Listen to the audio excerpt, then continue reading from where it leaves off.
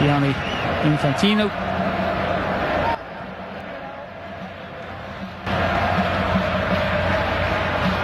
Looking on in the Arena Corinthians. And the deflection off the woodwork and escape, not yet over. Chance for a second, tapped in. Mistakes at the back for Peru. Firmino hammers that ball in. And Brazil are looking very, very good and in control. Turns it in.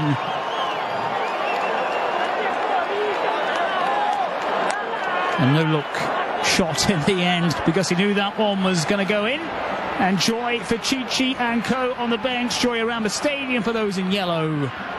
But what a howler. The Alianza Lima man who Cueva is trying to settle his nerves, but set Brazil then two quick goals here. There'll be no boos at half time. And